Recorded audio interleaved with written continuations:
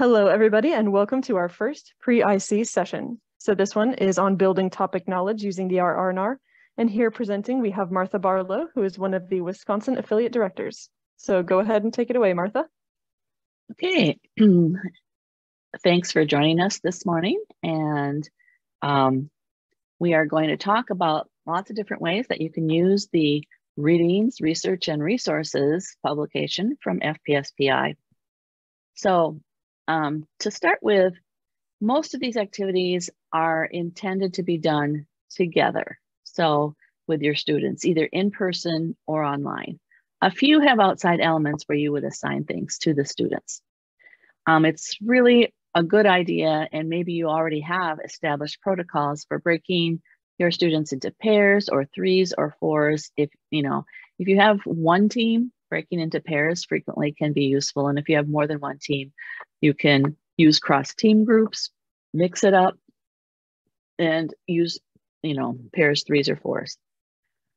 It's a good idea to establish ways to record and share the results of the work, especially if you're working online, whiteboards, Google Docs, etc. Um, we didn't used to have to worry about that as much, but you know, things have changed. And so we've learned a lot about working online with students. Uh, and you want to develop ways to determine student participation or non-participation if you're online. So to make sure that everyone is engaged. So the Readings, Research, and Resources publication um, is a must-have. I'm assuming if that you are taking students to international conference that you're familiar with the publication. Um, of course, at the beginning of the year, it has chapters on all four topics. And then as we approach the international conference, there's a separate chapter um, on the topic for international, which this year is currency. So if you haven't got the currency chapter yet, you should get that right away. Okay. So the RRR on currency includes central themes and major concepts. And for me, that's really helpful to kind of, you know, break the whole uh, topic area into really useful pieces. A topic overview, terms and definitions, questions activators summarizes, quiz open response questions, article summaries with links, digital resource links, and an appendix that has research strategies, problem solving tools, and a practice future scene. So the practice future scene can be very useful as well. We'll talk first about using the terms and definitions to build topic vocabulary. so one activity would be to identify some of the key terms. One way to do this is have each pair of students identify 12 to 20 unfamiliar but key terms from the vocabulary list. And then maybe compare lists um, and select 16 to 20 to focus on. There are 30 terms in the current chapter on currency. Um, and so one way thing you can do is to ask students to note or highlight when they encounter these words. But meanwhile, you would be working on developing their understanding of the words. I like to go through and take a look at which words do I think my students would be pretty familiar with. I'm going to say in this topic, what I put in the familiar list may not be familiar to your students, but on most of the list, there's a whole lot that are sort of um, regular vocabulary that you don't need to really go into a lot, like transaction. Most students may understand what a transaction is. They've maybe heard of Bitcoin, may not understand it. Um, some of these contactless payment is just an easy definition, you know, um, using anything other than cash. Um, currency exchange rate, gold standard investment, these might be familiar to your students, especially if they are older. Some of the less familiar uh, vocabulary might be things like blockchain, crypto mining, Ethereum. I still have no idea what that is. Fiat currency, ledger technology, non fungible tokens, stablecoin. So you definitely want to make certain that your students understand um, all of the less familiar vocabulary words. so, kind of um, keeping in mind this list of 16 to 20 that you want to focus on. So one activity for understanding these terms. You don't want to hit all of them if you, let's say you've identified 20 terms, okay? You don't want to work with all of them at, at one time. So dividing them into sets with three to five words in each um, set so that you can, you know, focus on one set each week that you're preparing is one good way to do it.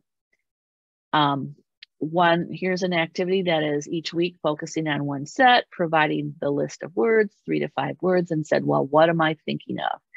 Um, and then you would give a definition and the kids could show, you know, a choice with their fingers. Okay, are you thinking of word one, two, three, four, or five?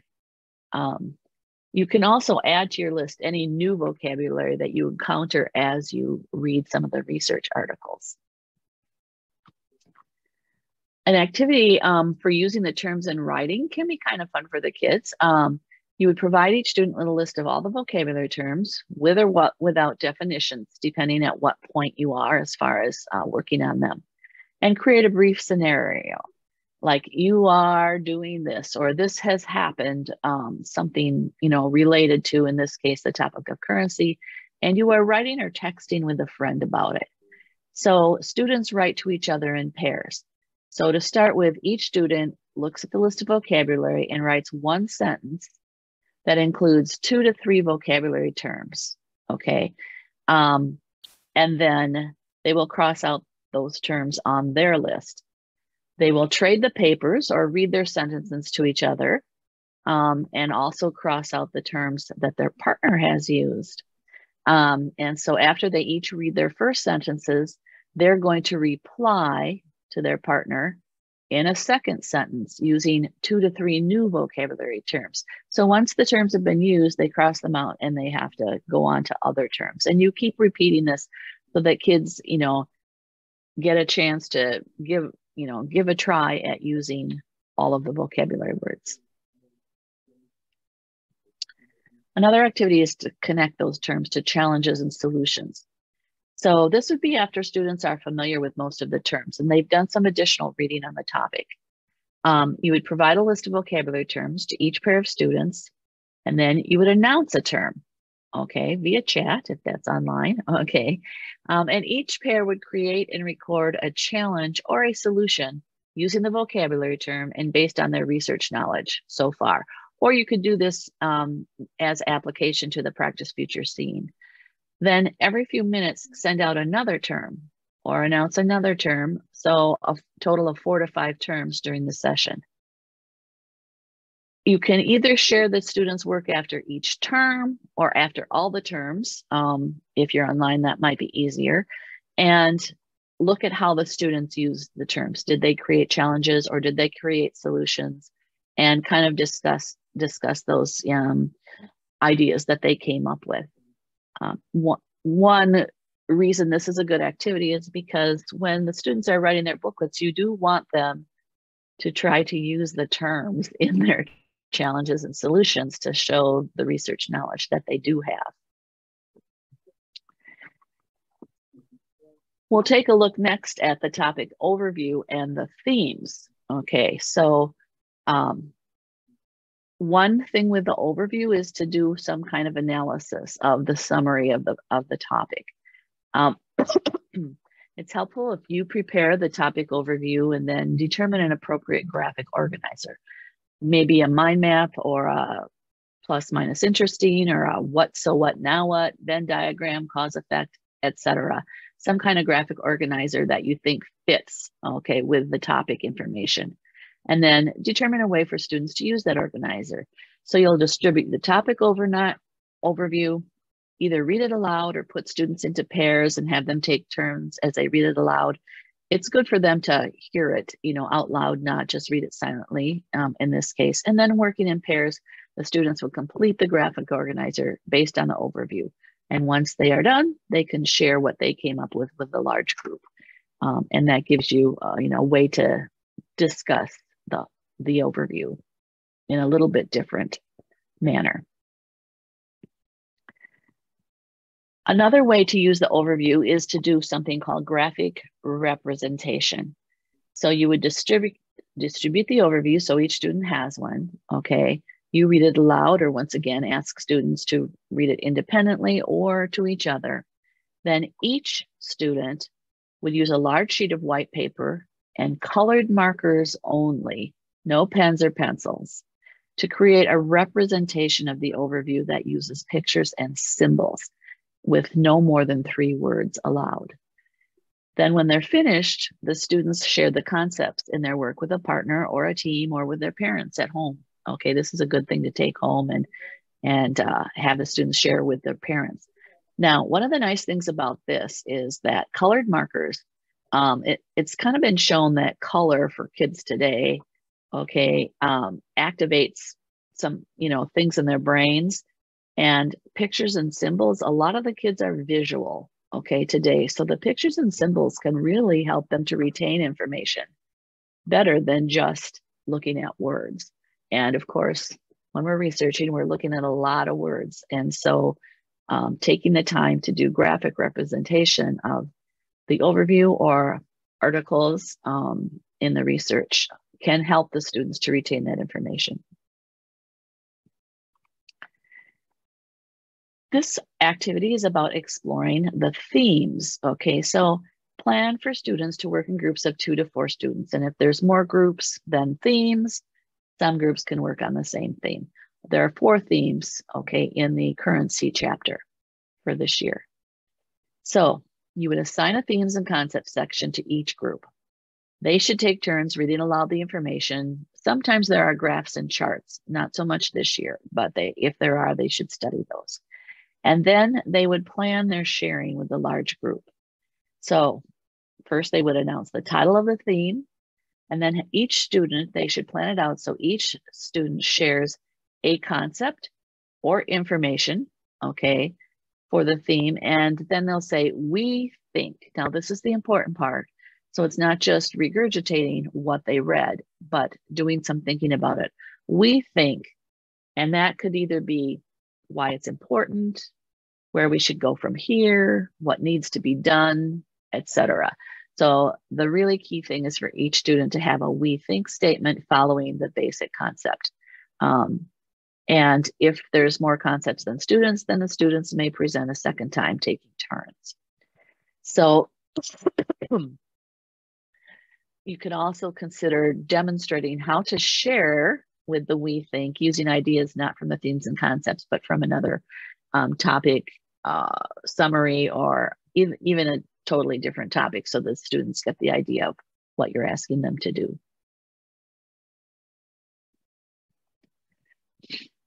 Now, um, there's lots of article summaries and these are so useful to get started. Um, as far as the article summaries go, with juniors, I focused a lot with um, the RRR article summaries. Okay. With high school students who've had, you know, sometimes six to eight years of experience, um, sometimes the article summaries would just be the starting point. We'd cover them pretty quickly, and then the students would go on to, you know, more longer articles, even books. But it can be um, a good idea to get a solid grounding in some of the information on the topic using the article summaries. And then when they go on to other reading, they have a um, better base for understanding the more advanced things. You can also adapt these ideas to longer articles, not just the summaries. So um, one minute summaries is that you would create a set of summaries for each group of three to four students. So each um, student would have a different page um, or a different one or two summaries, depending on their age and, and how much time you think you have. Then in each group, each student will read their summaries quietly. They may highlight important information. Okay, it's either a page or individual summaries. You know, um, don't give them so much that it takes more than four to five minutes for them to read. So kind of, you know, adjust that based on how much your students can read in that amount of time. Once they finished reading and highlighting whatever they want, then they either close their documents, they turn their paper over, and they take turns sharing what they learned. Okay. Um, if your virtual and students are in breakout rooms, you'll need to alert them when to switch from one person to the next. So you should decide on a time frame. If they've read a full page, the time frame can be one minute. If they've le- read less than a page, maybe 30 to 45 seconds. And the challenge to the students is to keep talking about the information that they just read for the full time allotted. So if they've read a full page of, you know, article summaries, maybe there's one long one or a couple shorter ones on the page. If they can um, talk about it for a full minute, that can be very challenging for students in the beginning, but with practice, they get better at that and better at kind of remembering what they read and being ready to share it. Um, so you need to indicate when that time is over, the next student should begin talking. If you're together, you just say move on to the next kid or via chat message. Then um, in a large group, um, you can discuss some of the key issues encountered. Encountered, excuse me. Now, if you have multiple teams, each team, you know, four students in a team should each have something different to read, but the four students in another team can be reading the same four sets of things as the first team.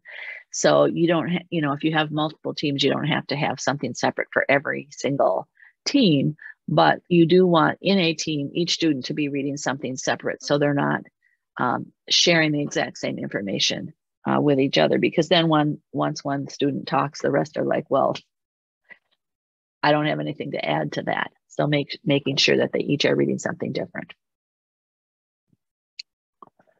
Another activity is to do highlighting. Um, you can establish a standard highlight color okay for each of these that you could use repeatedly okay um, throughout your whole research period, actually. So maybe yellow for facts and finger, figures, pink for challenges, blue for solutions, green for who's, people, experts, organizations. And if you have that, you know, standard kind of set of color, um, you can use it over and over. Then you would break into groups and assign each student one to two pages of summaries or one to two summaries to read and highlight using those four colors. um, so once again, you'd want um, each person, each student in the group to be reading something different. Um, or, you know, another way to do it is have them all read the same things and give each student a different color. You know, one student could focus on the facts and figures, another student can focus on looking for challenges, etc. So then you'd return to the large group and discuss what they found for each of those four areas um, if you're in person having a you know a big document that you can post in your room divided into four sections that you can add um, notes to um, can be helpful that you can continue to add through throughout your preparation period. Okay another activity that can really lead to improving the students um, showing of research in their competition work is called research nuggets so in this case, you would either provide paper or a Google Doc with multiple pages. So you want eight sections per page or post-it notes, okay, or an app um, if you're online. Each student would have different summaries. As they read, you would ask them to record research nuggets, um, important concepts or events or information, one nugget per section, um, one to two nuggets per summary. So um, I apologize that the example here is from last year, but in 2014, 80% of all antibiotics in the US were sold to livestock farms, often used in concentrated animal feeding operations, CAFOs, to prevent infection. Now, you might want to model this for the students, you know, where all of you together read a summary and then you show them how you can pull out a research nugget and put it into um, one of the sections on their papers or on one post-it note. Um, so while they're, you know, let them work for a while and then they'll want, you know, suggest they have one to two nuggets per summary. And after about 10 minutes, then read through the ideas and add one or two category titles, okay, to each nugget. And then if possible, you know, regroup them by category. Uh, and this is the kind of stuff that you um, if possible, you know, the kids can remember a nugget and kind of include it um, like in a challenge or even in a solution. So using the nuggets with a future scene.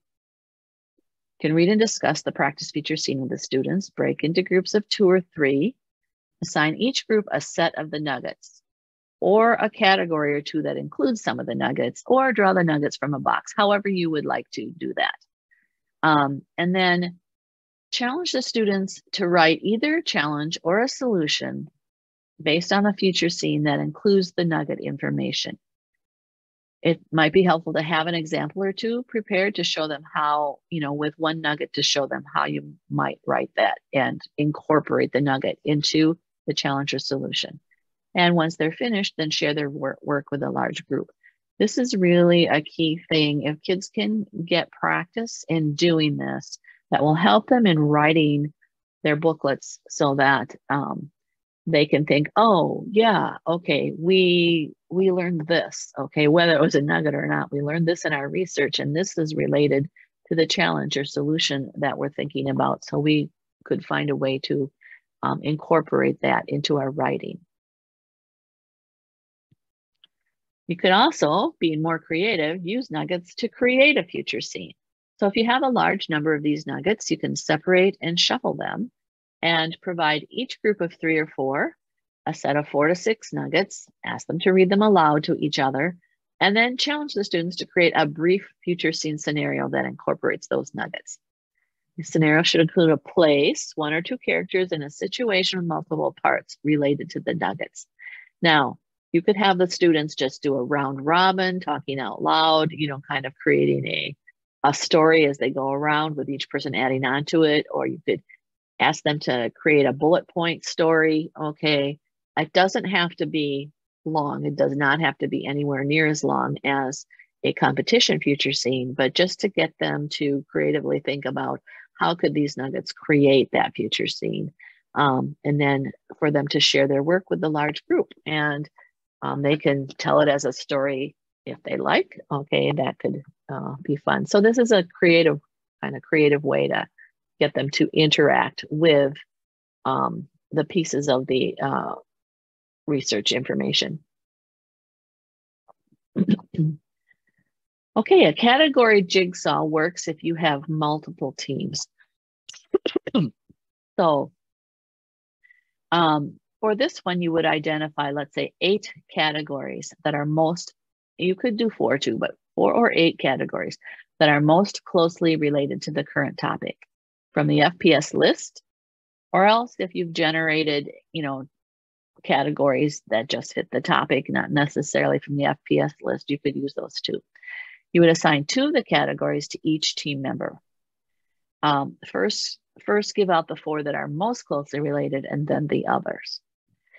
So in each team, each student will have two different categories, but then the students would regroup so the students who have the same two categories from one team will join with the students from the other teams who have those categories. And then you provide them a practice future scene or several pages of article summaries or a longer article, um, whatever you want to use. And all the students can be using the, some, the same one. But each group is going to brainstorm related challenges in their assigned categories only. Okay. Um, so maybe they're looking for economics. Um, and so they would look and see what they can find on the economics category. Um, and it's might be good if they have two that aren't like so closely related. So you wouldn't want them to have economics and business and commerce. Um, those are pretty closely related. In fact, sometimes hard to tell them apart. But um, so you know, maybe economics and transportation, if that fits, okay, the future scene or the article that you're working with. Then students would return to their original teams and they would take turns sharing their results, what they had um, come up with uh, as far as the article or the future scene you're working with and what they um, came up with in the categories they were working with.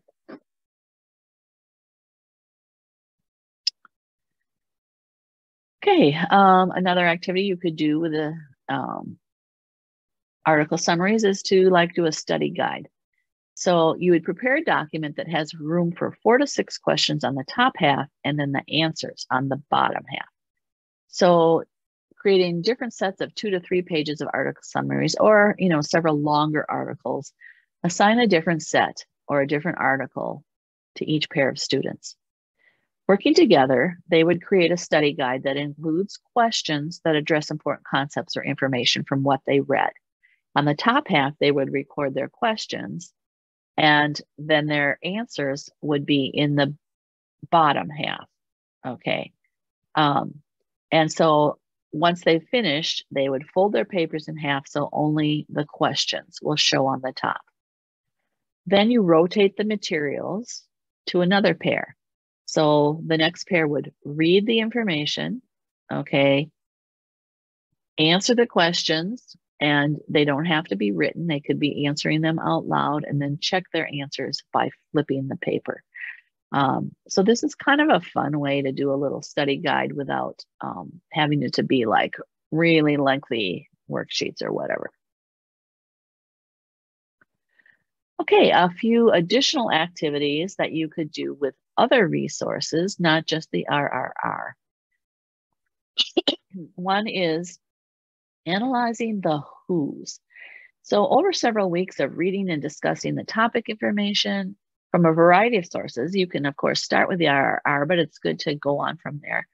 Develop a list of who's that you add to each week with descriptive information if needed. So, and then, you know, keep the list online or keep it on posters in your room. Then after several weeks, you can take that list and sort it, okay, into individuals or expert positions, organizations, stakeholder groups, um, miscellaneous or some other category if one is obvious. Then discussing which who's on your lists most have the power, interest, or expertise. We call that the PIE here in Wisconsin. Maybe the rest of you use that as well to implement improvements in the topic area. So let's say going through your in your list of organizations, which organizations would most have the power, interest, or expertise to actually be an implementer of improvements? Um, and then just maybe check off those. And then you could discuss potential actions that the ones you checked might take. Um, this can be helpful because sometimes students, you know, get stuck on, you know, the who's going to really be in charge of a solution or implement that solution. Um, and this can give them a, a wider variety of legitimate who's to choose from. Um, I know when I very first started in FPS more than 30 years ago now, my students would write, have them do this, have them do that, have them do this. Okay. Like, oh, okay, who's going to do that? Um, but even so, sometimes they would leave off who's going to be organizing the solution and just say, you know, what would be people would be asked to do, but that wouldn't be the organizer. So it's important to get that clear in kids' heads that we need people who actually have the pie. Okay, that makes sense to implement the improvements in the topic area. Another one is to focus on categories. Okay, um, large posters divided into sections and labeled for each category or some sort of online document. And then as you read and discuss topic information over the weeks, you could add ideas to the appropriate categories. So did we read about in this article any, what challenges did we read about? And then just briefly, you know, um, put each of those challenge ideas into one of the categories. Or what solutions okay, did we read about? And you want to put a C or an S to say, was this a challenge or a solution? I mean, you could also have do this on post-it notes and then just stick them up onto your um, posters. And as you come across one of these ideas, you could, if you're like discussing something all together, you could assign a student to add it to the group document. Think, pair, share is another pretty common activity that can be really useful for students. At one or more points during your, during your prep period, um, maybe develop a couple of thought-provoking discussion questions. You can certainly do this near the beginning using the discussion questions that are in the RRR, um, but sometimes as you've moved further into your research, you might come up with two for them to really think about. Then you would group the students in pairs and share one of the questions. Ask them to think quietly about the question for one minute. give them the full minute, and then after one minute, ask them to discuss for two or three minutes, and then repeat that with the second question. Then group each pair with another pair. Present the questions again, one at a time, and ask the four of them to discuss. With each student, you know, they have a tendency want to share what they had said, but it's really helpful if they can share what their partner said in the first pair. And that really gives them a chance to listen carefully to what their partner says and what their ideas were. Um, so listening and then repeating and then, you know, talking, thinking, talking, listening, repeating, okay, can really help to um, uh, students' retention of the information that they're learning. Graphic representation of an article is just like that graphic, graphic representation of the overview. Um, each student would have a different one to one and a half page article. Um, and some this might be good as an outside, especially if they've worked on a graphic re representation, you know, with you, that this could be done as as a an assignment. Um, having them use any size white paper and their colored markers, okay, that really activates some create, creative um, synapses in their brains to create a representation of the article. Once again, pictures, symbols, and a max of three words. Then they would bring their work, or if you're online, they could take a photo of your work, email it to you so you could share it on your screen.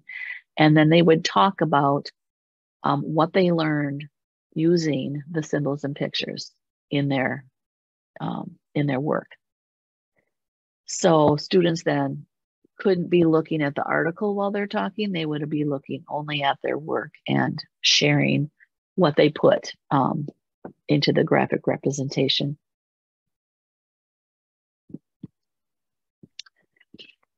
Deep reading practice, okay, is really important for kids to learn how to really pay attention to what they're reading. And this can really help with um, when they read the future scene.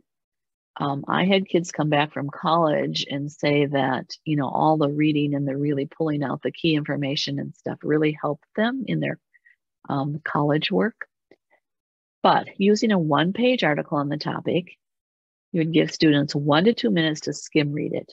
And then you might ask them what, what stood out to them. Then explain what deep reading is and take 10 to 15 minutes to read the article sentence by sentence using some of the deep reading questions.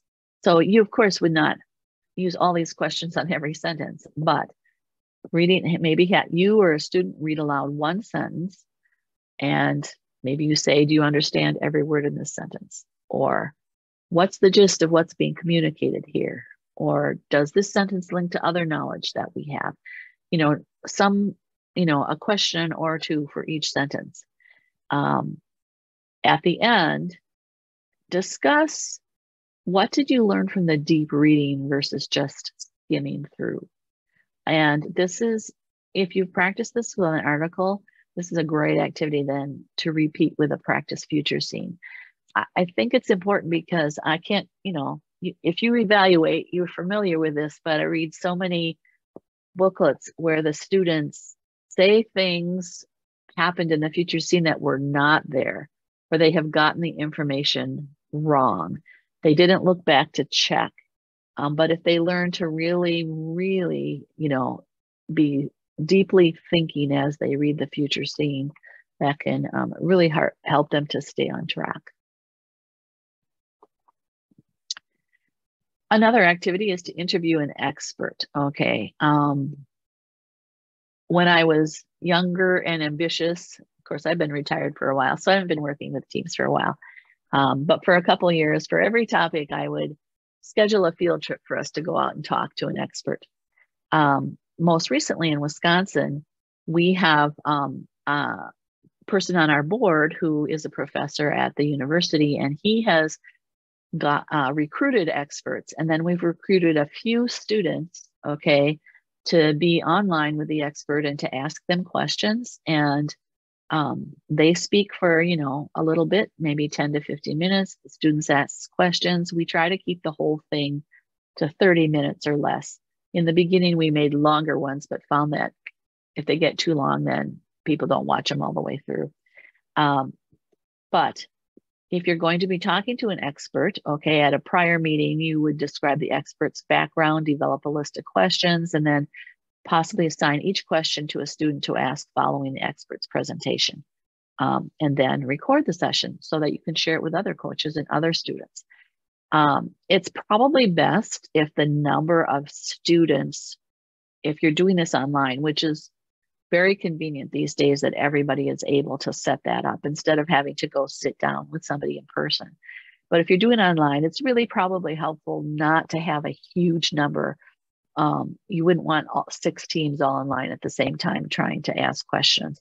Um, but a team of four is perfect, okay, to do a Zoom um, with an expert and then, you know, record that so that you can share that with other teams in your state or even send it to April so they can share it more widely. Um, if your topic has like areas of controversy, a debate can be a fun thing to do. you would start by determining a, a debate question. You know, assign half the students to research and identify arguments for the pro side of the question and the other half for the con side. So, for instance, with currency, maybe one half is saying we need to go completely cashless, no, you know, contactless payments, no coins, you know, no actual cash, and the other side would be no, no, we need to, we need to keep the cash and coins thing going. Um, you can ask some students to volunteer as facilitators and put students into groups of three one pro, one con, one facilitator. Then the facilitator calls on the students to make 30 to 45 second statements going back and forth. Um, they can either argue against what the other side, other person said, or they can add further statements to their own arguments. Um, an alternative would be just to put the students in pairs of one pro and one con. And then that could either practice um, doing the debate out loud you could have a 30 second timer and say switch or whatever, or you could provide them a Venn diagram, put their areas of agreement in the center and their disagreements on the side, and then they would have something um, in writing that they could share with the rest of the group. If you have time, and sometimes you're very short on time, okay, but if you do have time, some kids really um, respond well to doing creative responses to topic information. And I'm not going to go through each of this these, but um, here's you know quite a list um, that um, you could have them work on while during the research phase, near the end, or whatever.